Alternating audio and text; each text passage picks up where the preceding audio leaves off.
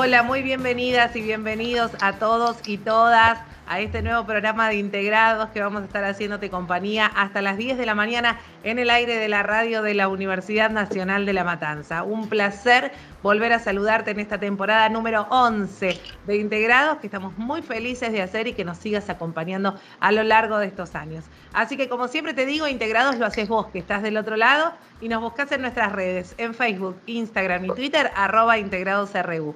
Y en nuestro canal de YouTube nos buscas como Conversaciones Integradas UNLAM. Allí están todos eh, nuestras emisiones de este año y de ciclos anteriores, ¿eh? para que las consumas cuando quieras y además conozcas a nuestros invitados y tengas acceso a material para profundizar las temáticas que te sean de interés. Eh, como siempre digo también, integrados no lo hacemos solos, saludamos a nuestro equipazo, Angélica Álvarez, Dayana García, Mariela de la Voz en la producción, Maximiliano Brandoli en la edición y puesta al aire, Luciano Galperín con las redes sociales, mi nombre Florencia Romano y a todo el Departamento de Humanidades y Ciencias Sociales de nuestra universidad y a la Secretaría de Medios de la universidad también agradecerle por este espacio. ya sabes, en cualquier parte del mundo donde estés, www.fm891.com.ar, pones play y nos escuchás en vivo en cualquier parte donde te encuentres, siempre vamos con vos. Hoy vamos a hablar con la gente de la licenciatura en Relaciones Públicas de nuestra universidad y vamos a estar hablando de un tema como últimamente todo se ha disparado a través de la pandemia, ¿no? Marcamos un antes y un después. Entonces también en las relaciones públicas se ha experimentado eh, con esta pandemia un incremento en lo que fueron que no podíamos salir. Las compras online, las empresas tuvieron que buscar estrategias para estar visibles en las redes. Aquellas que ya las tenían pudieron intensificarlo y algunas han nacido completamente desde la pandemia y por buenas estrategias eh, relacionadas con lo online. Bueno, vamos a estar hablando de este eh, tema y de todo lo que vaya surgiendo con nuestros invitados de carácter internacional y que saben mucho sobre la temática. Recibimos desde la universidad a Melody Galante, ella es magíster en políticas públicas, diplomada en políticas públicas para el desarrollo local y regional y licenciada en relaciones públicas. Se desempeña como docente de elocución y oratoria, es coordinadora del equipo pedagógico del sistema de tutoría del Departamento de Ciencias Económicas, es integrante de la Dirección de Graduados y es la flamante coordinadora de la licenciatura en Relaciones Públicas de nuestra universidad. Así que Melody, bienvenida. Hola Florencia, bueno, hola a todos, bienvenidos también y bueno, muchas gracias. El primer programa que participo como coordinadora, no el primer programa que participo, ya he participado como reciente graduada, como docente, así que siempre un placer volver eh, a este programa que, ya tantos años tiene acompañando a nuestra audiencia de la radio de la universidad, así que muchas gracias a todos también por estar. Gracias a vos, Melody, y un placer recibirte eh, en este rol y seguir acompañándonos a través de los años. Recibimos desde España a Iliana Seller, es doctora en comunicación y máster en comunicación estratégica en la Sociedad del Riesgo por la Universidad Rovira y es licenciada en Relaciones Públicas e Institucionales por la Universidad de Ciencias Empresariales y Sociales. Es profesora Serra Unter en el Departamento de Publicidad, Relaciones Públicas y Comunicación Audiovisual de la Universidad Autónoma de Barcelona y vice-chair de, la de la sección de Comunicación Estratégica y Organizacional de la Asociación Europea de Investigación y Educación en Comunicación. Es también profesora invitada en universidades de Europa y América Latina y autoras de más de 20 artículos en revistas científicas internacionales. Su investigación está centrada en la comunicación organizacional, las relaciones públicas, la responsabilidad social empresaria y el social media. Entre sus trabajos se destaca la investigación aplicada a la gestión de la comunicación digital de un gran volumen de organizaciones en América Latina y en todo el mundo. Un placer recibirte, Iliana, bienvenida. Hola, muchísimas gracias por la presentación y es un placer hoy poder estar aquí con vosotros. Gracias, Iliana. Desde Colombia vamos a recibir a Beatriz Eugenia Giseno Castañeda. Ella es doctora en comunicación, eh, en líneas especializadas en publicidad y relaciones públicas. Es magíster en acción humanitaria internacional de la Real Universidad de Groningen en Países Bajos. Es especialista en comunicación organizacional y es graduada en comunicación social y periodismo. Es profesora investigadora de la Universidad eh, de Medellín en Colombia y actualmente coordinadora del pregrado en Comunicación y Relaciones Corporativas. Es autora y coautora de varios artículos científicos y capítulos de libros. Dentro de eh, sus capítulos que recientemente se han publicado se destacan, por ejemplo, redes sociales y relaciones públicas en las ONG, redes sociales y ONG en Colombia, su uso estratégico, respuesta a una tendencia, y Netflix, catálogo de contenido y flujo televisivo en tiempos de Big Data, entre tantos otros. Un placer, Beatriz, recibirte. Muy bienvenida. Muy buenos días, muchísimas gracias. Un placer también para mí estar aquí en este, haciendo parte de este panel tan interesante a la Universidad Nacional de La Matanza. Muchísimas gracias por invitarnos y bueno, expectante ante lo que podamos dialogar en torno a las relaciones públicas y pandemia. Gracias, Beatriz, un placer. Desde México le damos la bienvenida a Carlos Gaspar Pérez Vargas, es doctor en investigación de la comunicación, magíster en ciencias de la educación y licenciado en ciencias de la comunicación por la Universidad Anahuac Mayag. Es socio director eh, de AMC Consultores, empresa especializada en áreas de comunicación corporativa, publicidad, relaciones públicas e imagen pública. Es investigador adscrito al SICA, al Centro de Investigación para la Comunicación aplicada, es director de la Escuela de Comunicación y Empresas de Entretenimiento de la Universidad Anahuac Mayar y es profesor del posgrado en Relaciones Públicas y Publicidad de la licenciatura en Comunicación de la misma universidad. Carlos, bienvenido, un placer. Muchísimas gracias por la presentación, agradezco la invitación y muy contento de participar eh, en esta mesa y hoy lo que vamos a abordar. Muchas gracias. A vos y desde Ecuador, le damos la bienvenida a Gustavo Cusot, es doctor en comunicación, Universidad de Artes, Ciencias y Comunicación, máster internacional en Dirección y Gestión de la Comunicación Organizativa y las Relaciones Públicas, es profesor vicedecano del Colegio de Comunicación y Artes Contemporáneas, coordinador de la carrera en Comunicación Organizacional y Relaciones Públicas en la Universidad de San Francisco de Quito, comunicador y asesor en comunicación e imagen corporativa de empresas e instituciones de Argentina, España, Estados Unidos y Ecuador y es coautor, entre otros, del artículo Relaciones Públicas y Ciberespacios, la praxis de la comunicación digital desde el enfoque de la Omicron Peer Group. Eh, un placer recibirte, Gustavo, bienvenido. Gracias, Flor, por la invitación a la Universidad de La Matanza y gracias a los colegas por, por poder compartir este espacio y hablar de conversaciones integradas. Muchas gracias a todos, un placer que desde distintas partes del mundo puedan haberse hecho este lugarcito para eh, estar con nosotros y realmente eh, va a ser material de sumo interés para los futuros eh, relacionistas públicos, pero para el público en, especial y por qué no también aquellos que están pensando en esto del ciberespacio y de, de darse a conocer a través de las redes, ¿no? Bueno, Melody, este tema es súper importante, si bien antes de la pandemia, ¿no? No nos vamos a focalizar específicamente en la pandemia, pero si bien antes de la pandemia siempre se hablaron de las estrategias que se hacían eh, de manera online en las empresas, la importancia de la visibilidad a través de las redes, del posicionamiento, eh, y hemos tratado algunos que otros programas de este tema, la pandemia sin duda sí, ahí como para usarlo de bisagra, ha sido un antes y un después en lo que fue la explosión de hacer todo a través de Internet, ¿no? De tener que buscar diferentes recursos, empresas que ni siquiera decimos esto lo podremos hacer a través de la red, bueno, y ahí estaban presentes y tantas otras que tomaron la oportunidad de crecer eh, o de fundarse en un momento eh, como fue la pandemia. Sin dudas, eh, Flor, la realidad es que la pandemia fue una bisagra para todo, no solamente para la comunicación, sino para nuestras vidas Hoy estamos acá con un panel de expertos que están conectados desde diferentes partes del mundo, que probablemente hace un tiempo era posible, pero no era lo lógico pensar ¿no? en, hacer este tipo de, conversaciones cuando naturalmente teníamos los medios y la tecnología para hacerlo. Creo que de alguna manera la, la pandemia lo que hizo fue exponernos sí o sí a esta situación. Entonces muchas empresas que quizás en otras oportunidades no habían pensado previamente en esta idea de, bueno, me sumo a las redes o no, eh, tuvieron que hacerlo porque no quedaba otra alternativa, básicamente, ¿no? Eh, un poco para eh, sí introducir el tema, sobre todo para los que no son quizás de nuestra área, por supuesto que es algo súper básico, pero sí las estrategias que, que pensamos, ¿no? Que están fuera de línea, offline, digamos, son todos los eventos, las actividades que hacemos cara a cara con nuestros clientes, quizás en un local, en los puntos de venta. Eh, y después obviamente tenemos todo lo que son eh, estrategias online, sí, que son las que están mediadas por internet, a través de, digamos, pueden ser las redes sociales, un, mailing, eh, pueden ser todas las actividades que hacemos a través de internet.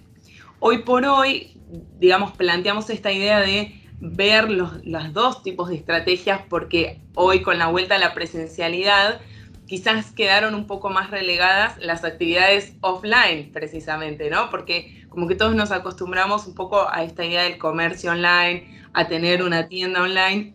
Y es importante también este reencuentro, ¿no? Con los colegas, con nuestros clientes, repensar los puntos de venta y que también haya una coherencia entre lo que la empresa, la organización es en línea y fuera de línea. Así que a veces hay una gran diferencia en este sentido, entonces creo que seguramente va, a, haber, va a dar mucho que hablar eso a lo largo de la conversación, pero un poco para introducir el tema me parece que, que está bueno hacer esta distinción, ¿no? Totalmente, y además, eh, bueno, les pregunto a quien quiera empezar el juego para contestar, ¿no? Esto que decía Melody tan importante, bueno, estuvimos volviendo, estamos todavía volviendo, ahí eh, como muy de a poquito, pero en otros espacios es como que listo. Nunca existió eh, lo que pasó y volvemos a la presencialidad. Digo, ¿y cómo se pueden aprovechar ahora esos públicos que quedaron quizás repartidos, ¿no? Nuestro público que nos conoció y que era online y ahora el que siempre eh, nos consumió, nos visita, o esto que dice Melody, eh, offline o presencial. ¿Cómo hacemos para administrar estos, estos públicos que han quedado quizás en, en disímiles lugares? Pero que somos la misma empresa, ¿no? A ese es un desafío por delante. Bueno, eh, si me permiten, yo quisiera iniciar, Flor, Angélica y, colegas de este panel. Yo creo que una de las cosas que nos deja la pandemia en términos de comunicación con nuestros públicos desde las organizaciones, yo creo que es una palabra que todo el tiempo nosotros decimos cuando pensamos en comunicación y es híbrido. Ahora, eh, los eventos, la comunicación con nuestros públicos, las estrategias de relaciones públicas son híbridas. Entonces, creo que las organizaciones se equiparon desde el punto de vista de la tecnología y desde el punto de vista del conocimiento para llegar a públicos que antes no llegaban y lograron y han logrado sostenerlo, eh, hablo por el caso Antioquia, por el caso Colombia, de comunicarse de manera presencial con el público y el que no puede llegar, conectarlo de manera virtual. Entonces creo que esa posibilidad que nos da organizar eventos híbridos, lanzamientos de productos híbridos, congresos eh, de conocimiento híbridos, ahora eh, incluso algo que era impensable hace muy poco tiempo, también lo vemos y es que las instituciones de salud hacen ahora consultas o teleconsultas a través eh, de, de manera online. Entonces, esa palabra para mí es lo que ha dibujado y, ha permitido que se quede y que se integre de una manera muy estratégica la presencialidad con la virtualidad, logrando de esa manera alcanzar un público mucho más amplio que antes las organizaciones no tenían en su mente. Y los públicos de todas las edades aprendimos sí o sí a ser amigos de la tecnología, y a confiar en la tecnología para comprar, para consumir y demás. Eso para mí es fundamental en este, en este espacio. Claro, totalmente esto que, que, decís, Beatriz, que quizás en algún momento incluso uno autorrelegaba cuestiones que tenían que ver con esto, con tener que apropiarse, ¿no? De las tecnologías como consumidor, hablo porque no soy especialista en relaciones públicas, eh, pero justamente a veces uno relegaba esto, decía, no, bueno, mejor no, si puedo ir acá dos cuadras, voy, ¿no? Y como que obligadamente, lo que decíamos al comienzo, tuvimos que, virar a esto y creo que hoy en día, por lo menos, no me gusta ser autorreferencial, pero uno ve la facilidad y dice, no, ¿para qué si lo puedo? Al revés, si lo puedo hacer a través de internet y me llega a mi casa. Iliana, te doy la palabra. Bueno, gracias. La verdad es que yo quería puntualizar aquí un, par de aspectos. Primero es que la integración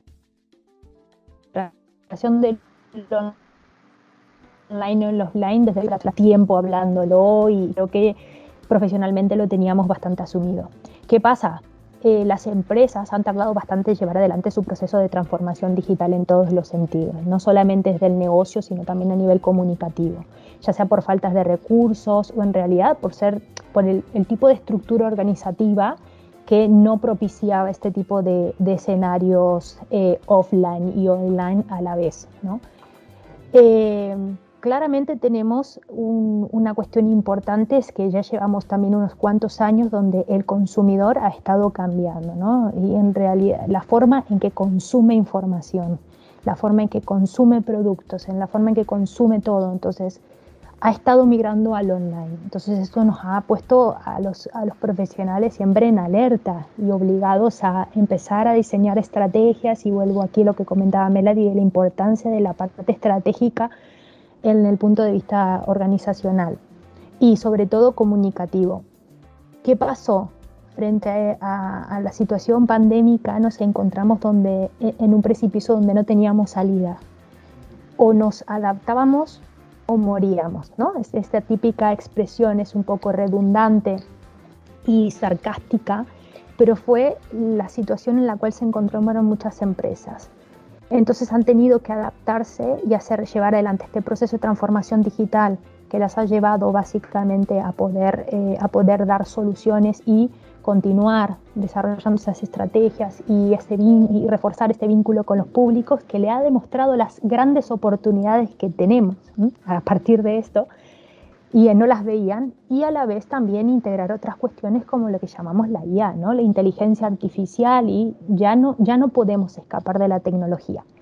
Entonces, esto ha sido una gran oportunidad y sobre todo un gran alivio para nosotros profesionales que hemos estado luchando, creo, con este tipo de empresas y organizaciones en general donde veían eh, la transformación digital como algo muy costoso en términos de recursos y muchas veces muy reacio o, o no, no un proceso integral, sino esporádico, particular. Entonces creo que, creo que, que este cambio ha hecho que las empresas en realidad vean las grandes oportunidades que le brinda esta situación actual y creo que la están aprovechando. ¿sí? Particularmente en el contexto español, en el cual yo me encuentro actualmente, em, digamos, hemos vuelto totalmente a la presencialidad. ¿Sí? Es decir, ya de hecho no utilizamos mascarillas dentro de los despachos, por eso me ven sin ella, aunque comparto con otros colegas.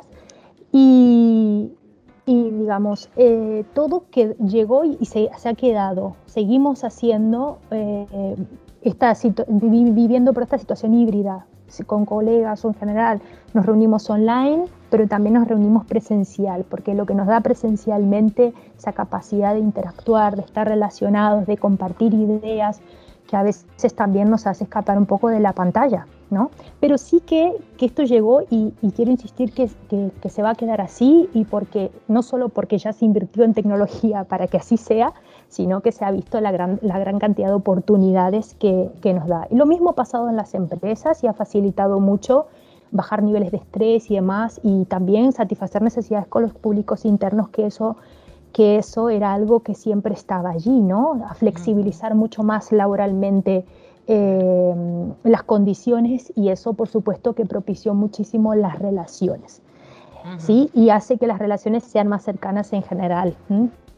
Bien, eh, importantísimo este aporte que has hecho, Iliana, y vamos a seguir por, por, esa vía. Gustavo, ahora te doy la palabra, pero antes les recuerdo a todos nuestros oyentes que estamos hasta las 10 de la mañana en el aire de la radio de la Universidad de FM 89.1. Nos escuchan en vivo en cualquier parte del mundo donde estén, www.fm891.com.ar y después si no nos buscan en nuestro canal de YouTube como Conversaciones Integradas UNLAM, allí aprovechan para conocer eh, a todos nuestros invitados, acceder a material de lectura que les guste profundizar sobre esta temática y eh, consumirnos cuando quieran, eh, online, offline o como mejor les parezca. ¿eh? estamos hoy charlando con la gente de la licenciatura en Relaciones Públicas, ya se han vertido conceptos muy interesantes acerca de estas oportunidades que han visto las organizaciones en las estrategias online y ahora nos vamos a meter en un ratito seguramente en, bueno, cuál es el rol entonces del relacionista público en este tipo de estrategias. Gustavo Cusot, te doy la palabra. Bueno, yo me quedé justamente pensando con, con la intervención de, de Iliana eh, de, este nombre, de este concepto de transformación digital, porque creo que eh, lo que pasó primero es que las organizaciones medios que, tuvieron que acelerar este proceso de transformación digital sin mucha conciencia de lo que significaba, ¿no? Porque a veces se piensa que hacer un proceso de transformación digital es porque abrí redes sociales, porque puse una plataforma medio interactiva y con eso ya, ya me transformé. Y en realidad los cambios de la transformación digital comienzan desde adentro, ¿no? Y, ahí yo creo que es una de las cosas que, bueno, pues tal vez una de las áreas que más me apasiona, que es el tema de la comunicación interna, es haber visto cómo estos procesos de transformación digital comenzaron a, tener una participación activa de, los líderes que fueron los que tuvieron que empezar a hacerse cargo un poco de, la comunicación interna eh, y a liderar este proceso, porque como vivíamos en un entorno en el que estábamos todos en la oficina, era un micromundo medio perfecto, y de golpe nos mandaron a, todos a la casa, entonces las, las, empresas entraron en esta situación de donde que el micromundo el clima organizacional y todo lo que estaba cultivado ahí se, se rompió un poco, ¿no? Se desestabilizó.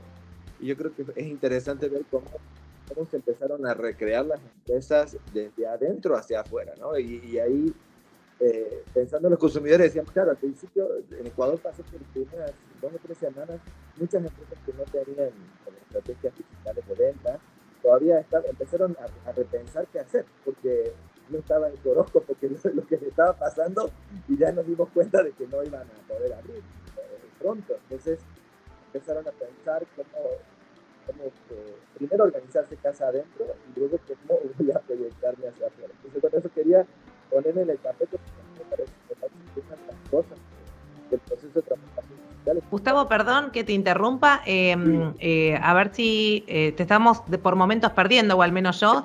Te escucho, pero cuando me parece que cuando te acercás te escucho mejor. Y así cuando te quedas en esa posición, ahí te escucho perfecto. Dale, perdón. Entonces yo justamente decía que, que ahí viene el problema de cómo se vivieron estos procesos de transformación digital y cómo se siguen viviendo en ese ámbito. Pues bueno, en Ecuador hay casos de empresas que ya se mantuvieron en la virtualidad y ya no, no van a volver más a, a, las oficinas porque encontraron que la gente podía hacer un trabajo eficiente igual. Eh, y, mejor, y más organizados, y otras que todavía tienen esta resistencia a, a, esa transformación. Entonces yo creo que es muy interesante ver cómo este proceso arrancó desde adentro, cómo las empresas fueron viviendo esta transformación y aprendiendo de esto. Yo creo que hay una cosa que creo que las organizaciones podemos sacar de conclusión post pandemia cuánto han y hemos aprendido de comunicación y más de comunicación interna. Eso es la, lo que quería decir. Totalmente, eh, muy interesante esto también, que creo que lo habían mencionado eh, anteriormente eh, las invitadas también, y tiene que ver con esto de cuánto ha capitalizado ¿no? a las empresas en cuanto a aprendizaje al menos, o a poder conocer a sus públicos también esta situación de tener casi que obligadamente vertirse hacia el canal online. Carlos Pérez, te doy la palabra. Muchas gracias. Pues me quedo con, en estos dos últimos que decía la, la maestra Beatriz, que decía híbrido, pero Ileana decía esa transformación que Gustavo muy bien por allá le fue retomando. Yo, yo me quedaría en esa manera de que, pues, ¿qué le veríamos de positivo a esta pandemia? Esto, esto que hoy estamos viviendo. Hoy estamos conectados en, de tres, de cuántos lugares diferentes que no se hubiera permitido eh, en el 2019, que esto hubiera sido complicado. Y me voy a lo que decía Ileana, ese, ese sentido de que pues, las empresas hoy pueden llegar a públicos que antes no llegaban, públicos que antes no, no teníamos ese contacto. A mí me pasa en el, en el, en el ámbito eh, profesional, que en una consultora que hace muchos años tengo acá en el, en el sureste de México, y me tocó que conseguir eh, clientes que no teníamos, clientes que estaban lejanos y que veíamos no podíamos tenerlos tal vez por el impacto económico, perdón, que eh, finalmente tenían ese impacto económico que nos representaba trasladarnos a un lugar e hizo que esta manera de verlo híbrido, como decía bien Beatriz, nos capitalizó como consultora de lo que somos, pero que al mismo tiempo nos abrió un nuevo camino a las universidades, a la academia, de poder trabajar de la mano yo los, yo lo sintetizo con un ejemplo que a mí me pasó iniciando esto. Eh, a mí alguien, un, cliente me solicita algo que siempre nos había solicitado y que es un offline, que todos lo sabemos acá, que son las conferencias de prensa corporativas. De repente el cliente me la pide, la armamos, pero de repente aquí en México nos dicen váyanse a casa. Yo suspendo la conferencia de prensa corporativa, yo ya tenía la venta del espacio, que pues uno ya tiene a sus proveedores como siempre. Hasta que allá me voy como la academia puede hacer una muy buena hilación cuando un alumno que en una clase me fue diciendo, ¿por qué no hacemos conferencias de prensa por medio de Zoom? Entonces a mí se me ocurrió hacer la primera conferencia de prensa con ellos en una clase. Le pusieron el back de, em, de una empresa que ellos habían creado, hicimos todo el guion y esa, esa idea me la llevo al ámbito profesional. Hoy les puedo compartir que hemos hecho, yo creo que más de 10 conferencias de prensa en la consultoría, de manera así, de manera híbrida que hoy, pero me voy a lo que bien decía Gustavo y a lo que bien decía Ileana y Beatriz. Hoy nuestra conferencia de prensa, que fue una conferencia de prensa que hicimos la semana pasada por un centro comercial, un mall que se abrió aquí, que nos solicitaron el servicio, hoy es híbrido. Hoy colocamos, se pueden colocar las personas a través de la plataforma de Zoom y además teníamos el presencial, cuestión que hoy pues lo podemos hacer, ¿no? Y cuestiones que antes no podíamos. Yo creo que esa transformación fue un impacto económico totalmente, porque hubo que invertir, profesores que estoy seguro que en las universidades tuvieron que invertir con un nuevo equipo de cómputo, profesores que tuvieron que invertir, que hasta compraron un halo de luz, de lámpara para poner en casa, un nuevo micrófono, una inversión que hubo también por universidades, pero también por empresas, ¿no? Empresas que tuvieron que eh, hacer una inversión muy, muy fuerte, muy sólida, y que me voy a quedar con un, un pensamiento de Ileana que, que me pareció muy interesante, que dice, ¿regresaremos o ya no regresaremos? A nosotros nos está pasando en la consultoría. Hoy estamos en la decisión, sí o no, seguimos en el pago de la venta de un local o nos quedamos como estábamos en casa porque nos ha funcionado bien. Y entonces decimos, ahora qué hacemos? Bueno, las propias clases nos está sucediendo, ¿no? Profesores que maravillosos, excelentes profesores que conseguimos en otros lugares y no los queremos perder. Y hoy nos dan clase así, de esta manera, a través de alguna plataforma, pero profesores que tenemos presencial, ¿no? Entonces eso, eso nos ha sido de manera fantástica y creo que lo veo de manera positiva. Como el offline hace ese tránsito, lo hacía lento al online, pero hoy es un tránsito impresionante, ¿no? A través de esa transformación que decía Ileana y Gustavo. Carlos, yo eh, completo lo que tú estás diciendo, en lo que estoy totalmente de acuerdo, y es que esta pandemia y la apropiación de las eh, tecnologías nos permitió facilitarle la vida y la comunicación a muchas personas. Y lo que tú dices de las conferencias de prensa es cierto. A veces, no solamente las conferencias de prensa, a nosotros nos pasa en la universidad las clases. Eh, de pronto, por alguna circunstancia, el estudiante no puede estar, nosotros nos equipamos eh, tecnológicamente muy bien en la universidad entonces, si el estudiante no puede venir y nos pide el acceso a la clase virtual, el profesor le da acceso a la clase virtual y no pierde esa posibilidad de adquirir ese conocimiento. En las organizaciones con los clientes pasa exactamente lo mismo. Entonces, yo creo que esta pandemia nos permitió unir lo mejor del mundo offline y el online y generar comunicaciones más honestas, más directas y más transparentes con nuestros públicos, tanto los que tenemos enfrente como los que tenemos al otro lado de la pantalla. Esto que estamos haciendo nosotros ahora acá es maravilloso y como bien decían ahora mis compañeros panelistas, en otro momento hubiese sido impensable. Entonces, para mí la gran lección es que logramos unir lo mejor de ambos mundos para generar una comunicación muchísimo más fluida.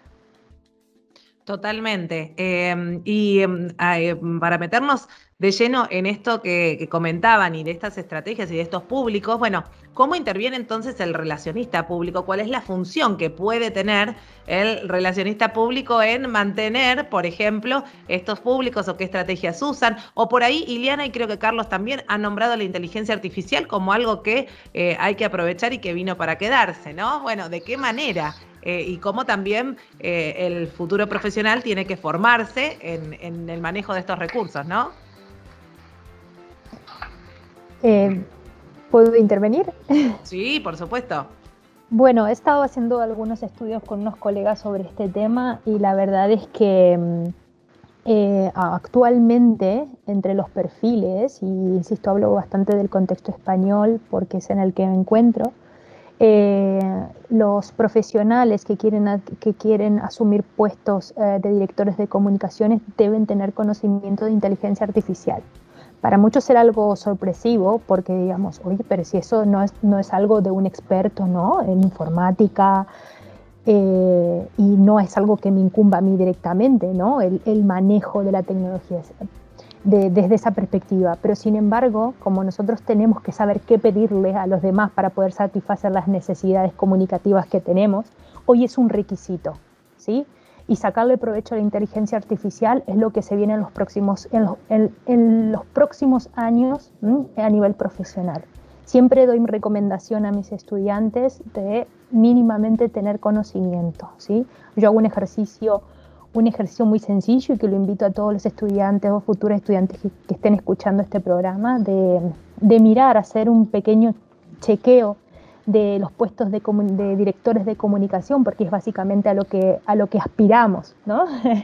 Eh, en, esta, en esta profesión, y mirar qué es lo que se requiere para cumplimentar muy bien, ¿sí? porque nosotros nos formamos muy bien en la academia para, para nuestros puestos de trabajo, pero tenemos que estar al día los conocimientos. Entonces muchas veces tenemos que ir también por nuestra cuenta a buscar cosas. Yo estudio cada día, yo aplico mucho mis investigaciones a buscar soluciones no solo en el ámbito profesional, cuando tengo alguna consultoría particular, sino que también para ofrecerle a los estudiantes eh, una visión mucho más profesional de lo que encontramos en, esta, en estos pequeños ejercicios o grandes ejercicios de investigación que hacemos.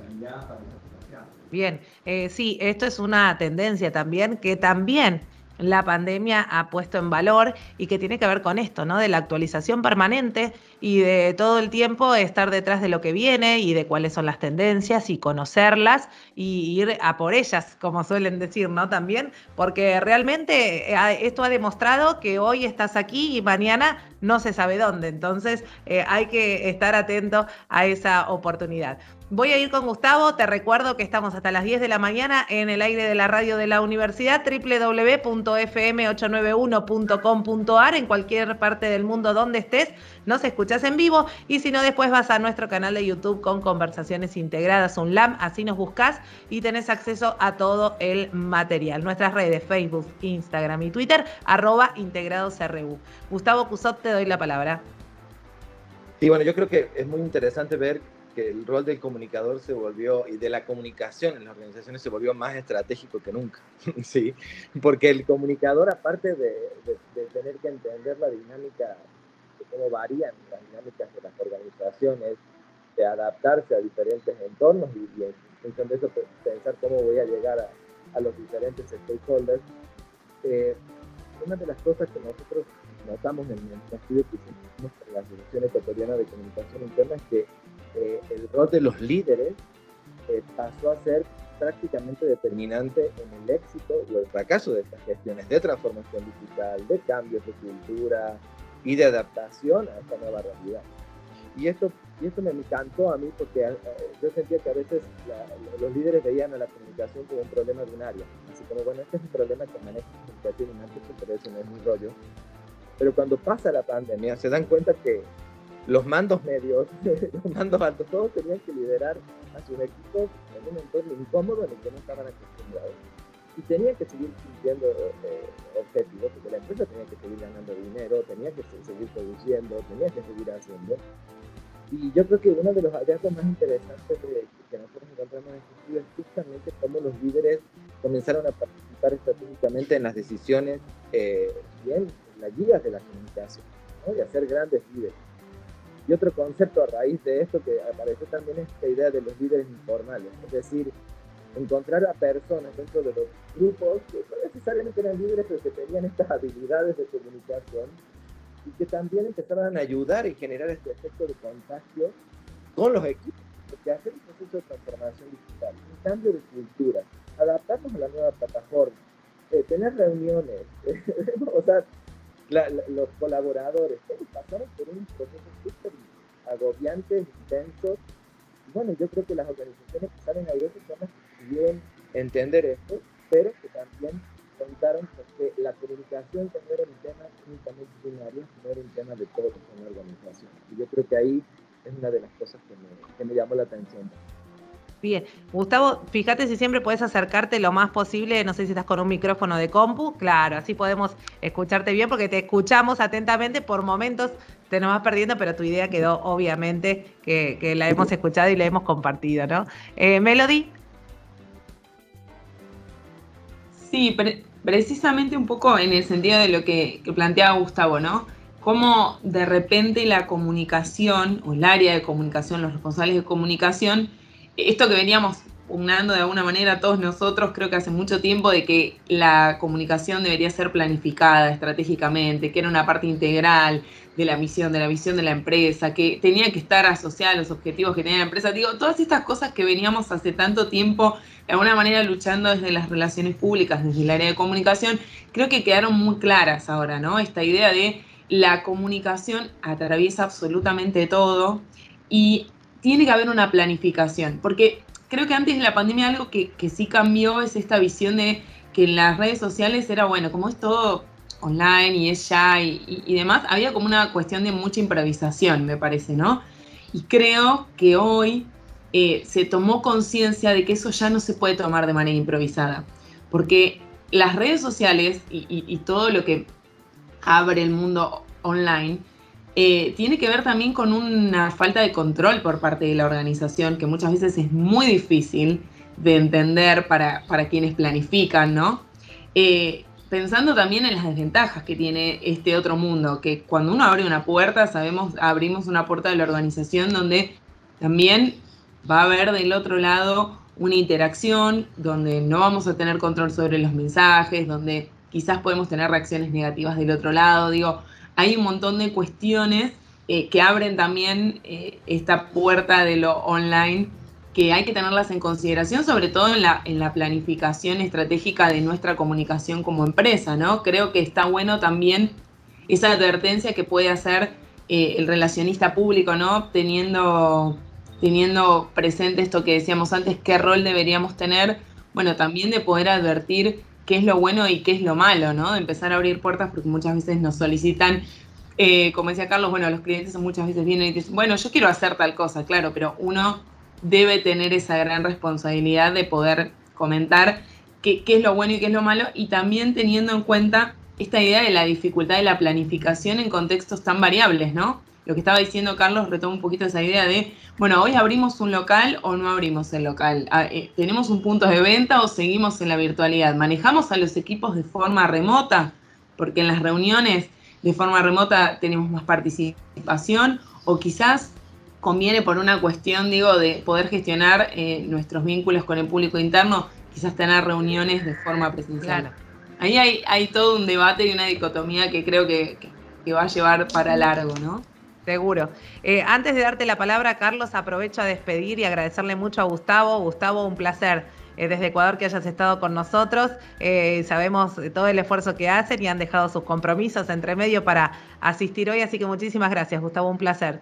Muchas gracias, Florencia. Solo quería decir una cosita para la audiencia y para compartir con los colegas, que es, que creo que tal vez lo más, lo más interesante de, esto que sale, pues pandemia, de esto que lo que estamos hemos aprendido también nosotros como comunicadores es que eh, menos es más a veces. ¿no? A veces no se trata de tener millones de herramientas de comunicación para comunicar, sino que tener unas pocas, pero buenas y eficientes. Yo creo que una de las cosas que tenemos que aprender como comunicadores es a no tener tantas herramientas de comunicación, sino tener las estratégicas, las necesarias para pegar en el grupo objetivo. Porque si no, el día a día te come y no llegamos a hacer muchas cosas de las que pudiéramos hacer más estratégicas.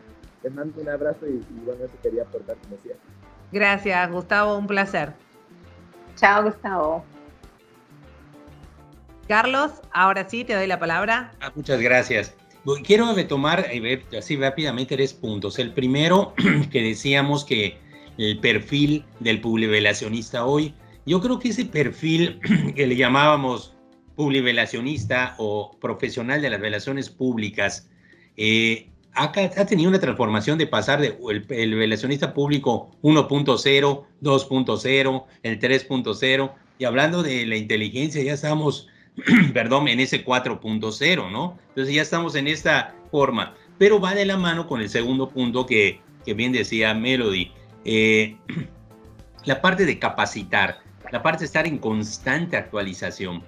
Hoy, si hace mucho tiempo un, un publicacionista, alguien que nos dedicábamos a esto, teníamos que estar atentos a lo que pasaba, leíamos, hoy hacíamos esto, hoy más que nunca esta parte de la tecnología tiene que ser parte de nuestro modus operandi cuando nos dedicamos a las relaciones públicas. Ya no podemos decir, bueno, va a llegar, no, ya llegó, ¿no? Por eso eso que decimos en las relaciones públicas de que estamos viviendo un una era de cambios, yo no le dejaría así, yo, yo le pondría que estamos en un cambio de era, estamos en un cambio de era en las relaciones públicas, en una forma que tenemos que empezar a, a pues hacerlas de, de, de tal manera que podamos nosotros lo tradicional ir sumándolo a lo digital. Yo creo que este, este punto es lo que nos va llevando a la actualización y el tercer punto que me parece muy interesante, que bien lo dijo ahora Gustavo, es la parte estratégica. Yo creo que la planeación estratégica que ya se había mencionado desde el inicio por mis colegas,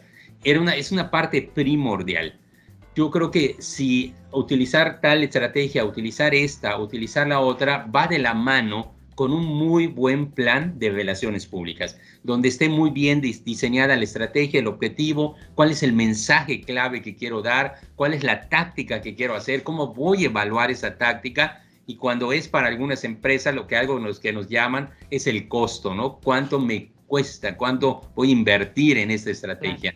Y yo creo que ese es el, perfil que debe tener un publicacionista el día de hoy.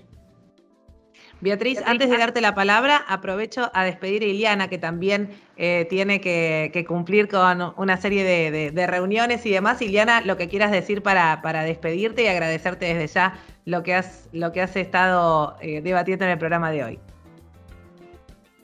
Bueno, también, primero, muchísimas gracias por este espacio y esta conversación. La verdad, mm, me sabe mal tener que dejaros, pero que estoy muy a gusto y aprendiendo de todos aquí, pero bueno, quiero retomar también algo de lo que ha comentado Melody y estaba hablando justamente Carlos, y es el valor de la comunicación a partir de la pandemia. Y sobre todo quiero marcar el valor de la comunicación interna, algo que se había quedado bastante relegado por tema de recursos y que sin embargo ha requerido, bueno, ha cobrado una gran importancia, un gran valor y que muchos profesionales eh, han utilizado para, eh, como, como espacio exclusivo de trabajo, no solo en investigación, sino a nivel profesional. La verdad es que eso ha sido increíble, porque todo el mundo se ha centrado en la importancia de la comunicación de la empresa con su público interno, sobre todo con los empleados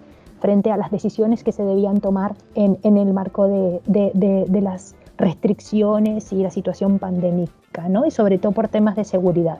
Así que mm, eso ha sido algo increíble que se ha notado mucho y se ha empezado a hablar y muchos expertos han, han, podido, han podido trabajar aún más en este tema. Así que muchísimas gracias. Gracias a vos, eh, un placer. Por este espacio y ánimos a todos. que vaya muy bien. Gracias, gracias por, por, por estar. Eh, Beatriz, aprovecho de darte la palabra y también para darles eh, estos últimos minutitos para que ustedes dejen su reflexión, eh, que ya estamos también llegando nosotros al final del programa de hoy. gracias, Flor.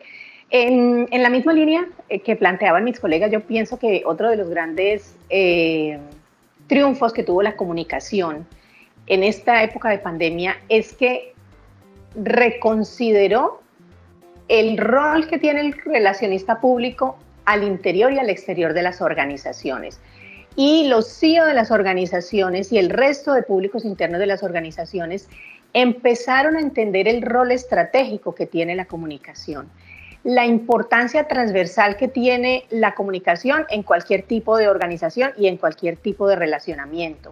Y de hecho, aquí en Antioquia se hizo por parte de un grupo de investigación que se llama eh, Comunicadores de Antioquia una encuesta al respecto y evidentemente de los 220 encuestados, eh, jefes de comunicación, relaciones públicas de grandes organizaciones eh, de esta región, eh, concuerdan en que se reposicionó su rol, su papel estratégico al interior de las organizaciones. Entonces creo que ese tiene que ser, o esa sería mi reflexión. De todas las cosas que a nosotros nos pasan en la vida y de la pandemia, mucho más tenemos que sacar cosas buenas y cosas positivas. La pandemia nos dejó cosas terribles, ausencias, dolores, muchas cosas.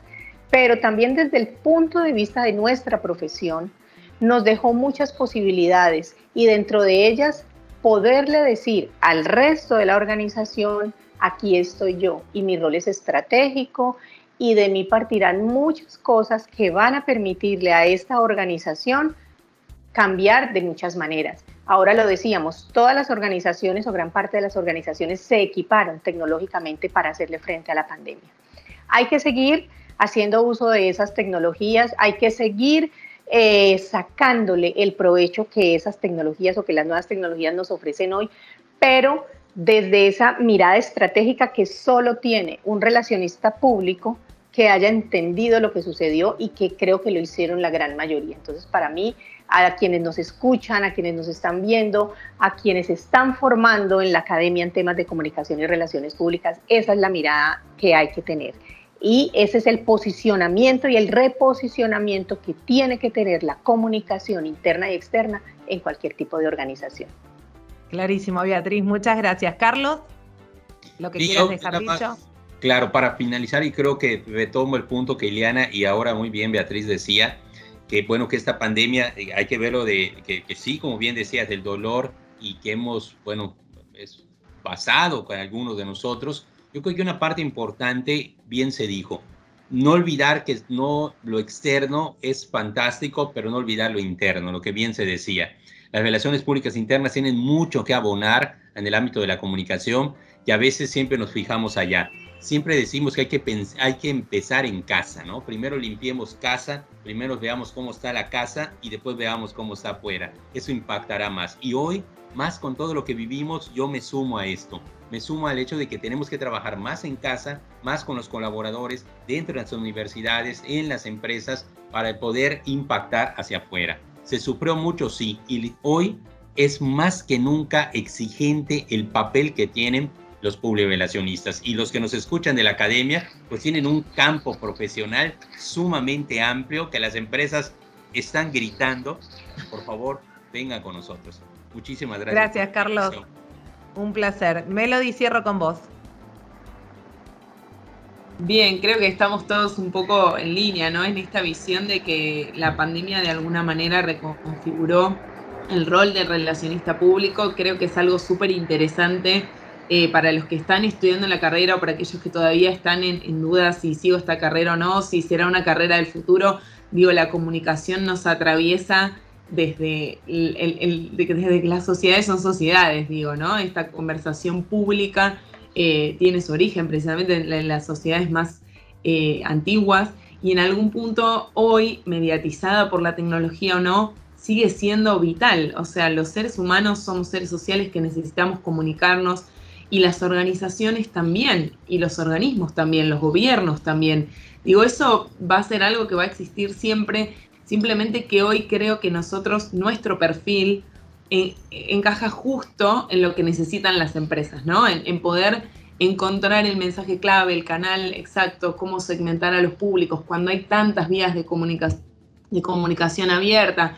Creo que en ese sentido vamos a tener un gran desafío eh, todos nosotros, pero encontrándonos en un buen lugar dentro de la profesión y también la academia, como decían, el gran desafío de formar profesionales que tengan también todas estas nuevas herramientas que van a requerir los profesionales de la comunicación. Hace algunos años pensar que alguien de comunicación iba a requerir inteligencia artificial era absolutamente impensado y hoy por hoy eh, nos tenemos que empezar a replantear cómo vamos a hacer para formar a, esos jóvenes, que también vienen con sus códigos comunicacionales, ¿no? De, la virtualidad y demás.